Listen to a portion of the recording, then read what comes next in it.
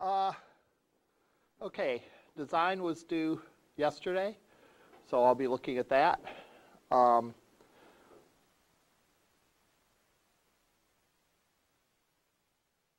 I want to spend a few minutes talking about what you would do if you wanted to make your website live, if you wanted to put it up on the web.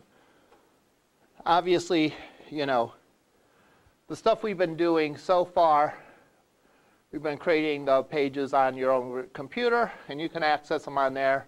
You send them to me, and I can access them. But how does it work when we want the world to access them? So I'm going to just define a few terms and, and talk about a few things that you need to do.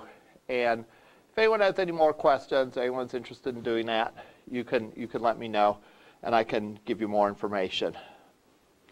First of all, let's talk about, and the reason I'm talking about this now is this sort of is a good lead in to the next topic that we're going to have. So it's a good uh, to spend a few minutes talking about this because that's going to lead into our, our next topic. Um, when you go to a website, when you go to access a website, you know, typically you type in an address.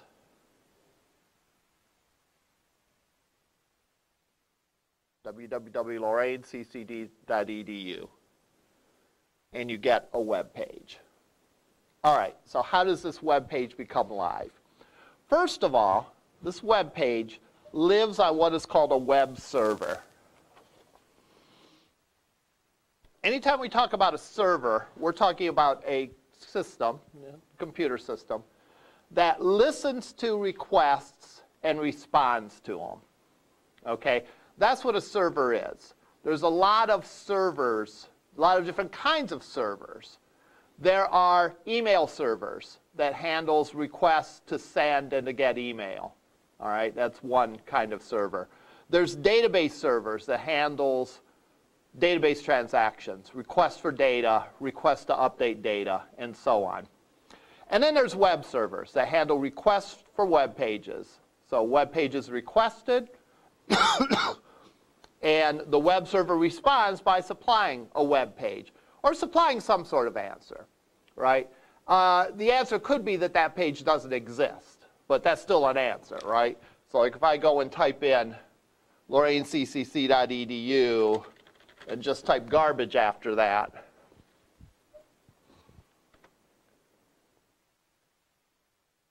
we get an error message. But that's still a response, right?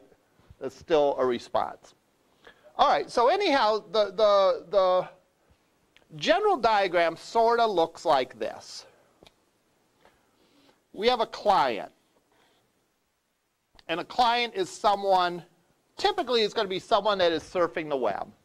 Someone that has their phone or their computer with a web browser that is asking for web pages and getting them back. All right?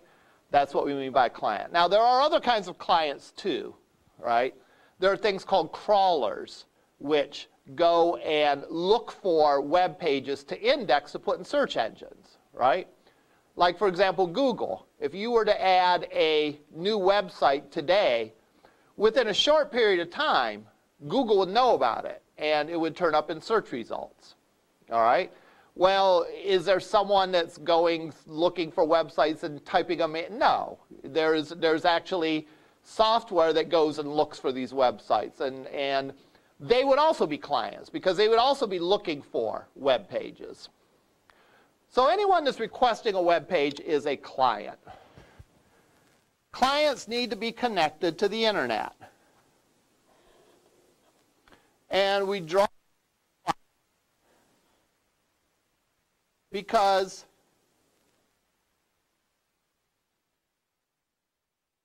actually I don't want to say cloud, I want to say internet.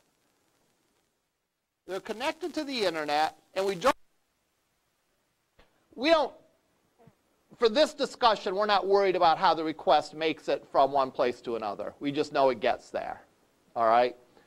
It's like, you know, it's like the roadmap. Uh, because we're not wired directly, say, to Google's web server. We're connected to an internet service provider. And when we make a request, that request actually goes through several computers before it makes it to the right, several servers before it makes it to Google's web server. For this discussion, we don't care about that. We just trust that it happens, and we're happy with it. And we're connected to a web server. What is a web server? It's a computer with software that is capable for listening and responding to requests.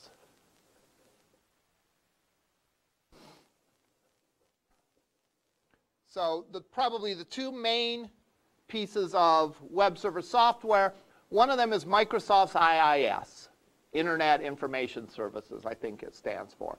And the other is Apache. All right, those are the two most popular web servers in the world. Okay, I forgot we had a guest today. All right, so hold your thoughts. All right, we're at web servers right now, so hold your thoughts. We're going to have a, a short presentation. Yes. Hey, everybody. Do, do you want to sit here so we can record you? Sure. Okay. I'm normally Not in a witness protection program or anything? Uh, okay. So you could switch the camera back and forth if you have something to show on the computer or whatever, but if you sit here. I've never done this before. All right. So this is my 91st presentation of this year.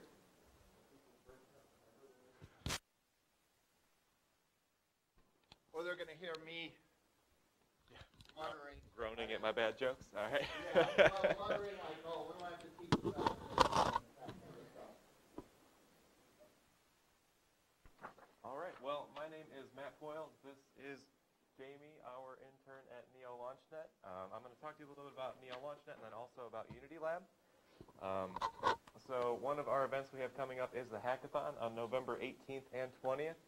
Um, hackathons look awesome on resumes. You don't actually have to code anything or program anything. It can have a digital component or just a physical component. So you can either come up with a, oh, thank you. If you want to come up with an application um, for helping students do their homework more efficiently or managing stress, anything like that, or if you just want to come up with a simple tutoring service, anything like that, coming up with any ideas that help student wellness is what it's all around. The 18th is our ideation day, and the 20th is our presentation day. So you're going to pitch your ideas Shark Tank style for up to $500 in um, book scholarships. Here, There are gift, gift cards to the bookstore. Um, so please come out and participate in that. You can compete in up to groups of five for that. Um, and then we have another event called Homecoming. We don't have a football team here, so we started our own homecoming event. Um, that actually, we invite all of our past businesses that we helped start at Neo LaunchNet. We are free and uh, unlimited business coaching and mentoring here on campus to any and all students. So we invite all of our past businesses. Some of them do have food trucks. They come out and they talk about their businesses. They sell things. They market themselves. Um, and then another one of the awesome things that I do here on campus is I'm over a group called Unity Lab. Unity Lab is essentially a paid internship for graphic and web designers. So if you would like to build your portfolio, get paid while you're learning to code things, um, we have uh, several students that are working with us on web design right now. Um, if you're interested in that, go to lorainccc.edu, scroll all the way down to the bottom, click on Career Opportunities, and apply, or even just come see me. My office is in PC 113. Put in your application, and we can get you paid for getting some experience. It's the Campana building. So the Neo LaunchNet office is the only one on campus with a garage door. So many small businesses got started in garages, so we have our own garage, and we have a pseudo concrete carpet floor. Um, but yeah, come see us. We sometimes we have dogs and cats and baby goats in our office, so we're all pretty fun. And since it's a smaller class, I think I've got something for everybody here. Not a little football, just because we have our homecoming event. Don't throw them at each other until after we leave. Or not at all.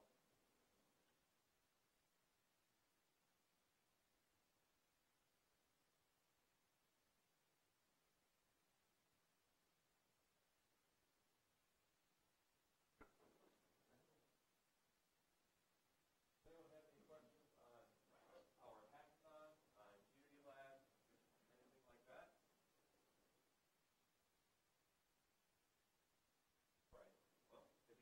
instructors,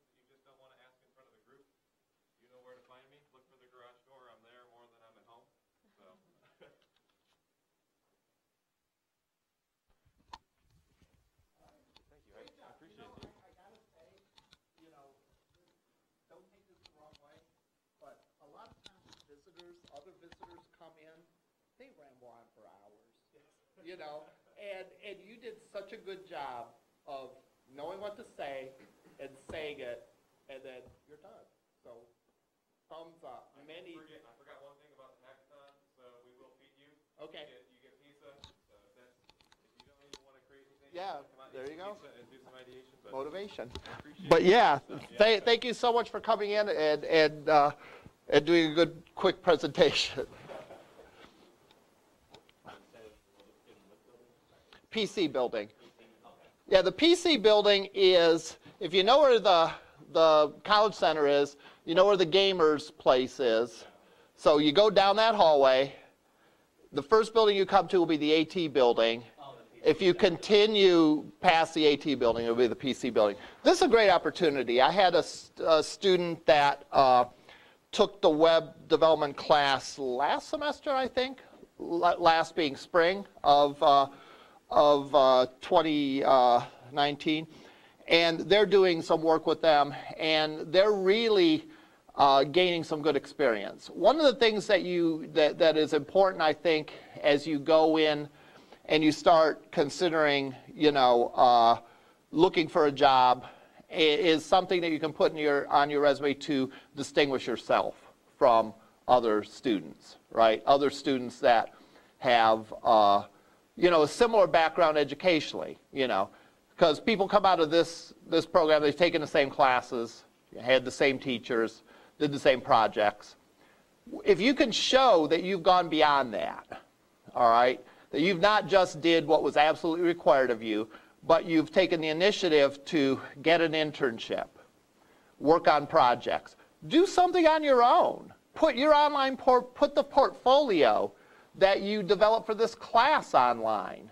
All right, uh, things such as that. That's a such a big plus uh, when it comes to uh, looking for jobs. You know, uh, I talk to people at Hyland, and they're always saying when they interview people, well, Hyland and uh, another place, Foundation Software, and they always say that they ask students, what have they done outside of the classroom? You know, a fan site for something that you're interested in. It doesn't have to be major, but something to show initiative and that you can go and you can do a project. So, if you did one of those projects and you created your portfolio and you want to put it online, what would you do? You'd have to find a web server. Boy, that was an amazing segue, wasn't it? All right. And a web server, as we remember, is computer that has software to listen and respond to requests. You could theoretically set up your own web server. You have to be connected to the internet. You have to be running the web server software. And you could run a web server out of your house. But usually people don't want to do that because, for one thing, to handle the volume of requests, if you had any volume of requests, would be difficult. For another thing, uh, keeping track of security patches to different applications and different software is, is a full-time job. And backing it up and all those sorts of things is really a pain. So a lot of times you would hire a, uh, a web hosting company to have this. And so you might subscribe to, might use GoDaddy or some other service, and for a certain amount a, a month, you would get so much server space and possibly so much server traffic. You might be limited to uh, a certain number of bytes or gigabytes traffic going back and forth. So, if you want to make your website go live, what you'd do is you'd get a web server. The way this works is, again, if we're talking about plain old HTML pages, they would live on the server. They'd be on the disk of the server. And when the request came in for them, the server would simply find the HTML page and deliver it to the client. So the, the client makes a request, the server sends a response back. And that response consists of all the stuff that we've seen in this class, HTML, CSS, images. Later on, we'll talk about JavaScript and so on. So a request from the client, a response from the server. So if you wanted to put your stuff on a web server, what would you do? Well, first of all, you'd have to have a web server, the computer with the software listening and responding. Second thing you would do is you would register a domain. All right? Every computer on the web has a number called an IP address. All right? Now, the IP addresses would be like maybe uh, the latitude and longitude of the computer, not physically. All right, so that was a very bad analogy. It's, it's, the, it's the actual name of the computer on the web. All right, but people don't memorize numbers very well, right? Uh, so, you know, Google, it's much easier to remember google.com than whatever the long number is for google.com. 8.8.8.8. Okay, well, I picked a bad example, Ed. Any other one? Okay. Uh, or, you know, for, for any website uh, to do that. So what you do is you register a domain. And what that does is it ties a name to the IP address that you have. So people can type in www.yournamehere.com instead of typing in uh, you know, your, you know, you know, one, one two five dot six, six eight dot seven three dot zero zero one. And don't type that in, by the way, because I just made that number off the top of my head. Who knows what it actually is? All right. So there's an organization that handles that, that makes sure that every domain you know, that, that domain names are unique, that two people, because there couldn't be two google.coms for the web to work, right? So, you, first thing you would do is you would get a web host, you'd register a domain that would point to your web host, and then you'd publish your website. And how do you publish your website? There's a bunch of ways to do it, but most of them involve somehow taking from your computer and using software known as FTP software to upload your pages to this computer's disk. And once that happened, then your pages would be available to be requested. Now, in the case of plain old HTML pages, the server has a very easy job. All the server does is it takes your request for the page, finds it, and delivers it. All right? That's all the server does. All right? Takes the request, finds it, and delivers it. So if you had www.yournamehere.com, there'd be a default page, usually called index.html. And when someone typed that URL, it would find that index.html page that you created, just like you created in this class, and send all the files back to whoever requested it, the client. All right? Now, if you have any more questions about this process and what you need to do and so on, we can handle them individually. But I want to talk about more of what goes on on the web server. Because there's a lot more complicated web pages than just plain old HTML pages. Most HTML pages that we've seen so far have been very um, static. What does the word static mean? Doesn't change. So, doesn't matter who requests the page. It doesn't matter when they request it. Doesn't matter what computer they request it on. A static web page is going to get is going to be the same. Static web page stays the same until someone manually goes and changes it. All right, that's what we mean by static. It's unchanging. So if you brought up your very first page that you did in this class back in August, it would look exactly today as when you turned it in. All right? And it would look like that way forever until you went and manually changed it. But if you think about it, something funny must be going on. Something unusual must be going on because other web pages don't behave that way. All right? Other pages don't behave that way. And if you try to think of them in terms of just plain old HTML, it's really confusing. So it's clear that something else must be going on for certain kinds of pages. For example, Google. All right? We go to Google.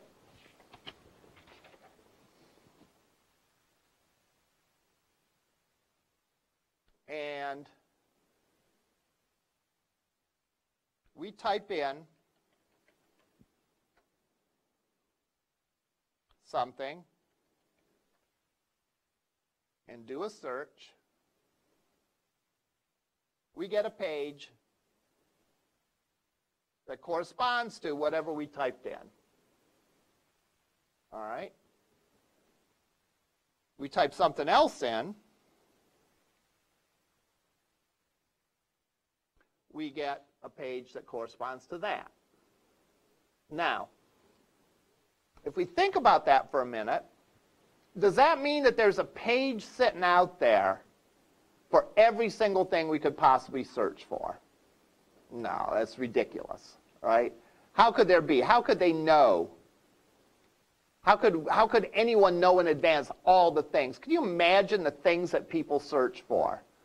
Some of the things I don't want to imagine that people search for, but people search for a lot of different stuff. It would be absurd to think that there was a web page out there waiting for everything that someone could search. And all the Google server had to do is find that page and deliver it to the client. So something else is going on here. And the plot thickens. Because if I search for something like Italian restaurants,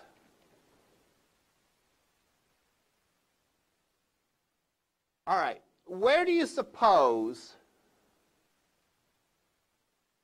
where do you suppose the best Italian restaurants are? Probably in Italy. All right. What do you think would be the second best place for Italian restaurants? I don't know. Maybe a big city like New York or Los Angeles or Chicago or something like that. But if you look here, I searched for Italian restaurants. I found a restaurant in Canton. All right. I found one in Elyria, in Sheffield, in Avon. Top 10 Italian restaurants near Elyria, in Lorain County, in Lorain, in North Ridgeville, at the Midway Mall, Serrano's, Leonici's, and so on. That's kind of suspicious, right? Because I know there's some good restaurants in the area, but it really doesn't make sense that when you search for Italian restaurants, that these are the top searches worldwide. No, these are the top searches here. All right? So Google obviously knows a little bit about where we're at, all right, where we're located. And it customizes the search to take that into account. So if I search here, this is what I get. If I was in New York City and I searched, I'd get something else. If I was in Chicago and searched, I'd get something else. Again, it's ridiculous to think that there are different HTML search results pages for different places in the world. So what's going on here? Any thoughts of what's going on here? Yeah.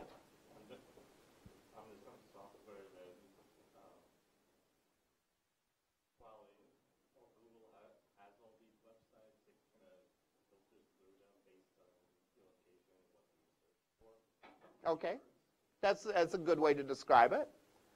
There is not plain old HTML at the other end of the server, in other words. There are what are called server-side scripts.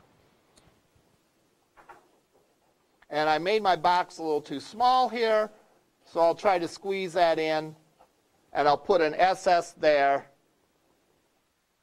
Actually, I'll put server-side scripts there. And these are programs. These are not plain old HTML. These are programs in languages such as C Sharp. I know a lot of you are studying C Sharp this semester. all right, or have done it in the past, or will do it in the future. These could be written in Java. These could be written in PHP. They're written in programming languages that have variables and if statements and loops and all that kinds of things that you study. We haven't encountered any of that in plain old HTML because that's not what HTML is. HTML is a language to describe documents, to describe the structure and content of documents. All right? It's not a full-blown programming language that does all these things. Now these server-side scripts typically interact with a database. All right? And the request gets a little more complicated as well. Because if I request one of these pages, oftentimes I'm supplying form data. Now, form is what we have here.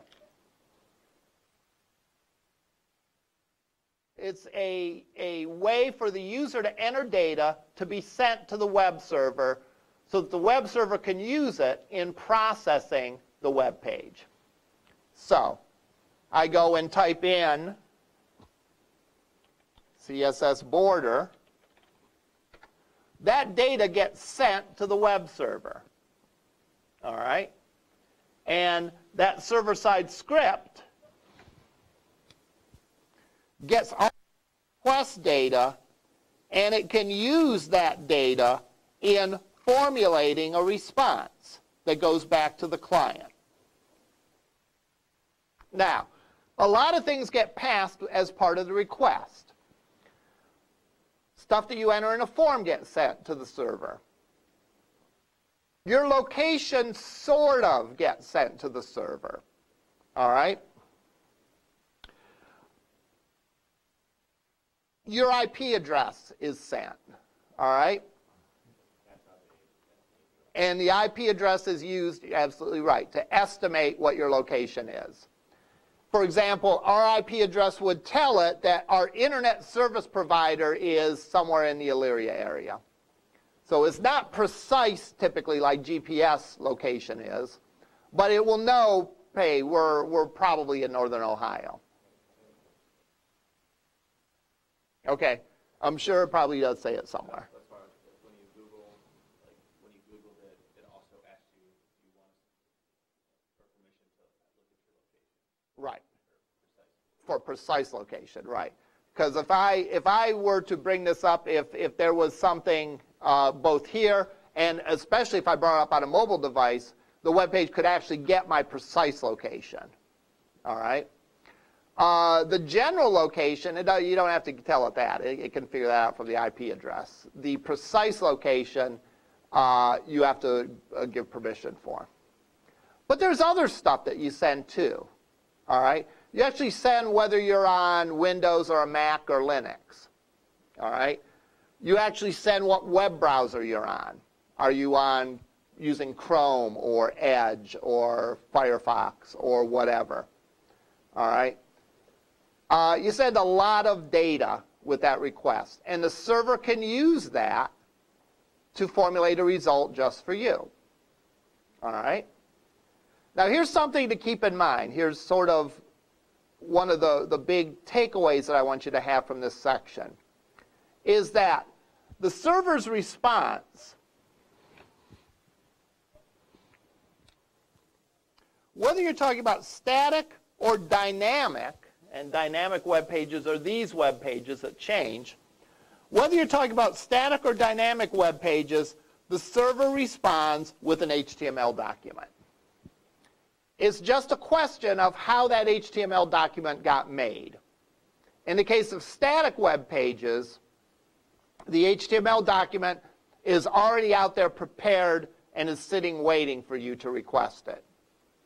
In the case of a dynamic web page, uh, the finished web page isn't out there, but there's a program out there to create that finished page. And it can be in PHP, ASP.NET, any number of server-side languages.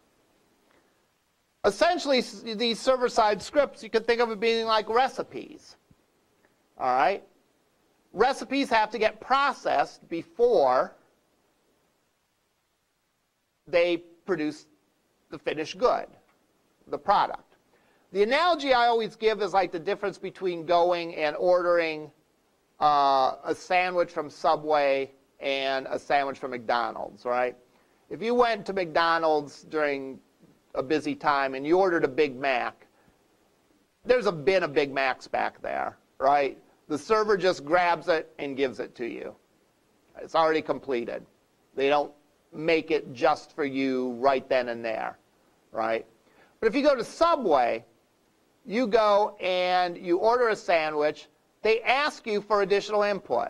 You know, uh, what do you want on your turkey sandwich? What kind of bread do you want? Uh, what uh, do you want? Kind of cheese do you want? Do you want it toasted? What veggies do you want? And so on and so forth. Now, if you think about it, McDonald's has a very limited number of sandwiches. So they could have a bin, at least of the most popular sandwiches, waiting there during rush hour and just hand them out to people that order them. But Subway couldn't possibly do that. How could they possibly have all the combinations of all the sandwiches that you could order? Well, in this bin we have a turkey sandwich on Italian bread with no mayo and lettuce. And this one we have turkey sandwich on Italian bread with mayo and spinach and green pepper. You know, you couldn't possibly do that, right? So they don't try. So they don't have finished sandwiches or finished web pages out there waiting for us. They have instructions that the server executes that takes the user's input and creates the finished product. But keep in mind, when you leave McDonald's, and when you leave Subway, in both cases you leave with a sandwich, right? Because that's what you eat. Well, web pages are what browsers eat, all right? That's what browsers use and display, are web pages. So in both cases, whether it be for a static page or a dynamic page, what gets delivered to the client, the web browser, is an HTML page with CSS, JavaScript, and other files. Okay, let's talk about what we're going to study in this class and what we're not going to study in this class. We're going to study in this class what we do on the client end to create the data and send it to the server. So we're going to study how to create forms in HTML. All right?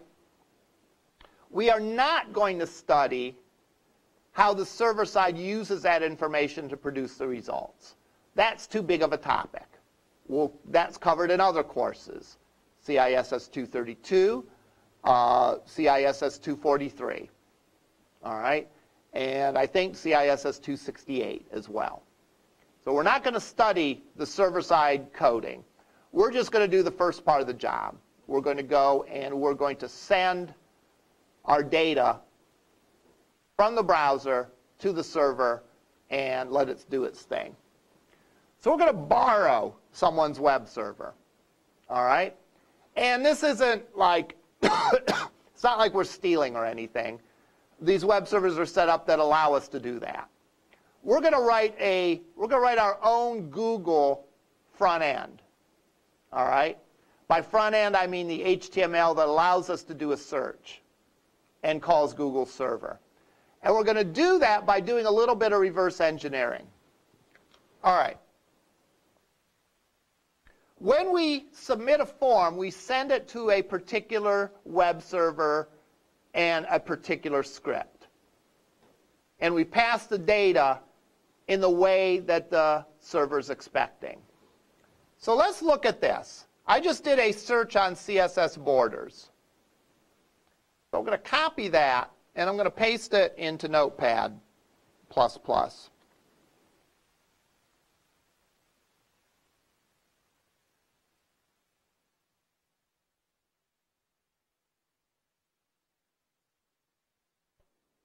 and I'm going to look at it. It's a really a long URL, right? But we can sort of pull the pieces of it that we need. First thing that we need is everything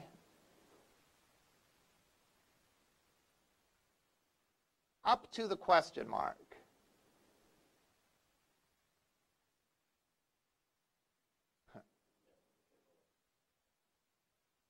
Yeah, uh, exactly. So I won't highlight it. Everything up to the question mark. Everything up to the question mark is the name of the script that we're calling.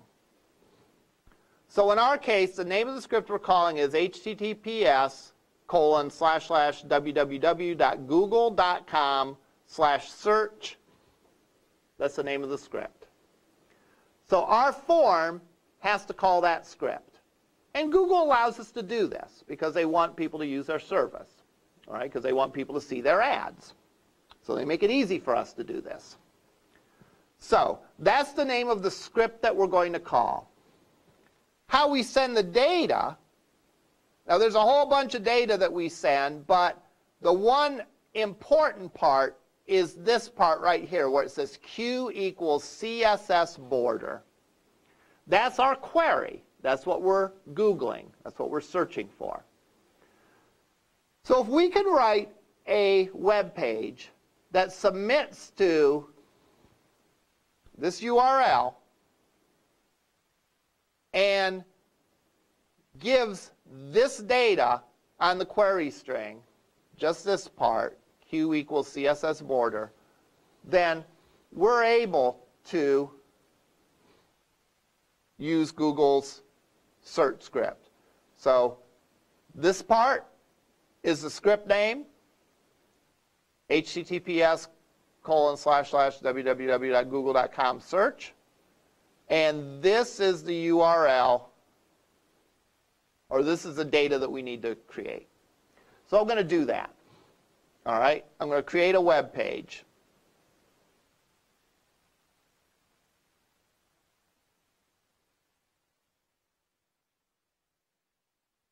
And I'm going to put the typical stuff that we've seen before.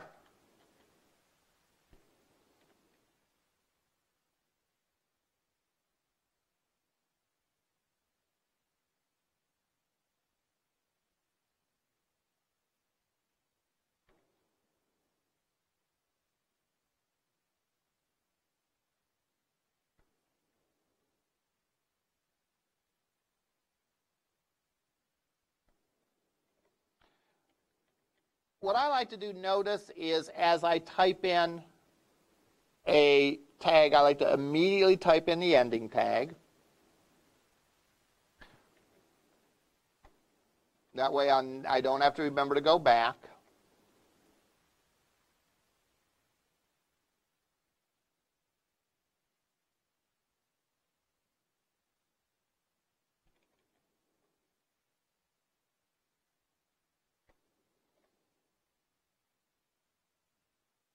All right, now I'm going to start out with some new tags.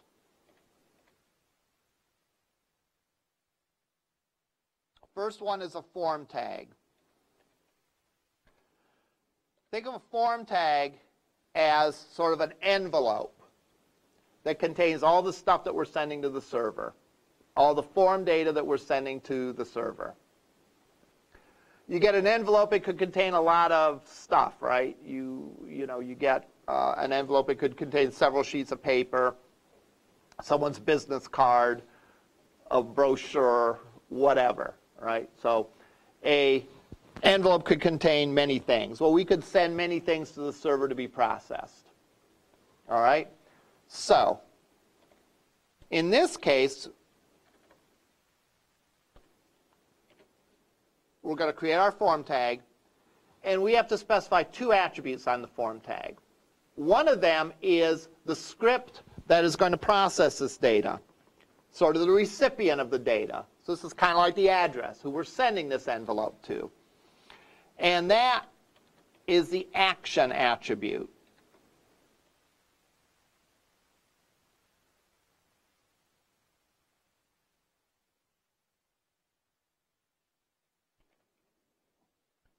And we remember from what we looked at it, that that's the name of the script. Second thing we have to do is we have to send a method we can send the data on the query string, which is what we saw. We saw it as part of the URL, the data that we were searching for. And that's a method of get. And that's what we're going to use in this example. The other, exam the other option that you have is post. And that will send the data in a hidden way. It's like if you were sending a password or something. You might use post so that someone couldn't peek over the shoulder and see it on the URL. So here's our form tag.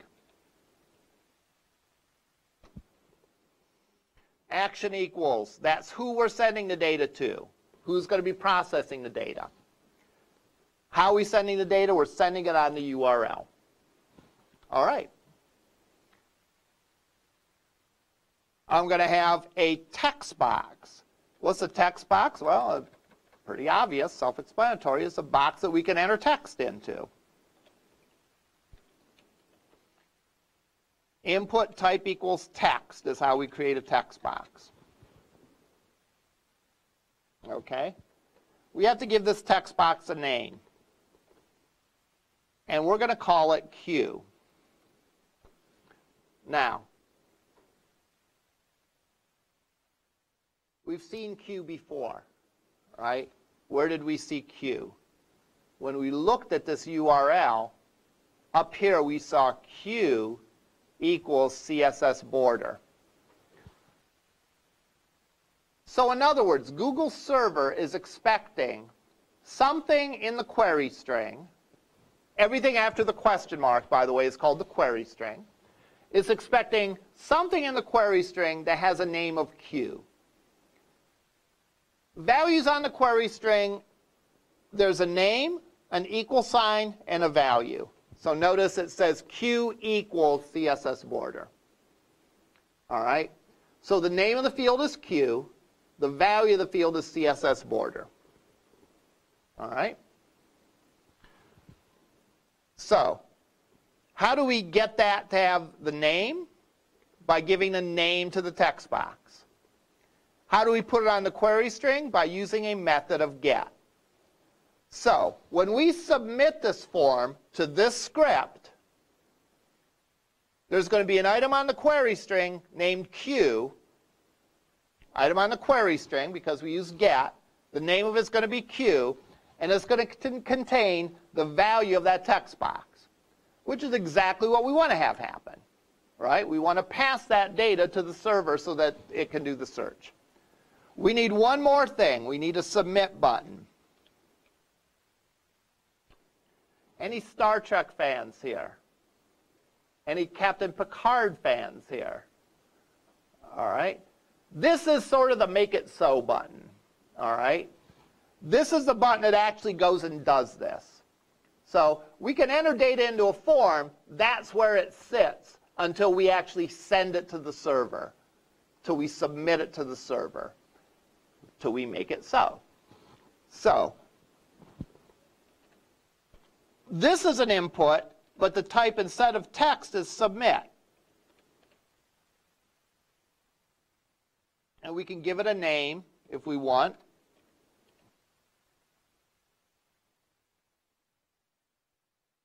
And we can give it a value, which is going to be the text that's going to be on the button.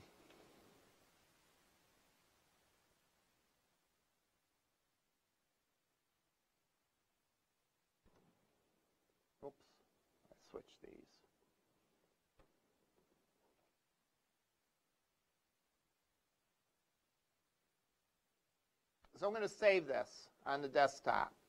Do you have to put a name for it? You don't have to. You should always put a value because that's what the button's going to say.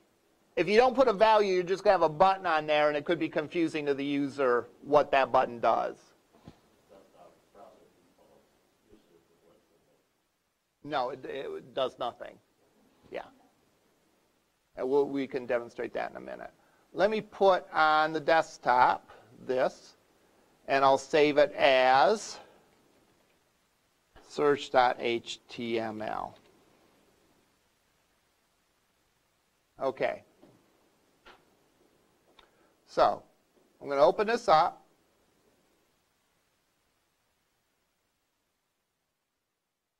Here's my page. I search for something, HTML. That sends it to Google Server and we just did a search on there using the data from our form. Notice what we have. Q equals HTML, and button submit equals make it so. All right? Because we gave the button a value, it also shows up on the query string along with its value. If we didn't give the button a name, it wouldn't show up on the query string. Sometimes it's important to know which button got clicked, right? Like even on Google's homepage, there's actually two buttons. There's I'm feeling lucky and search. So Google server needs to know which of those two buttons got pressed. So therefore, sometimes it's important to know which button got pressed. But if we eliminated that, if we didn't have a name for it,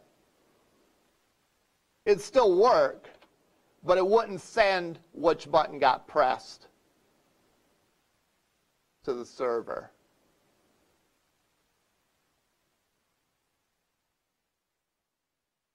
So there we don't see button submit equals that. Now to the earlier question, if you eliminate the value,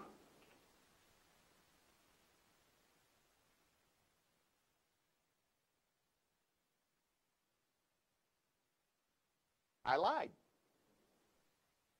That might depend on the browser. Chrome shows submit. I'm not confident all browsers do that.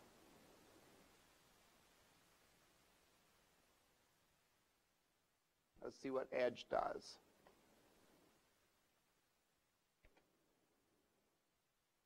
Submit query. Puts in the browser default, yeah. All right, that, uh, yeah.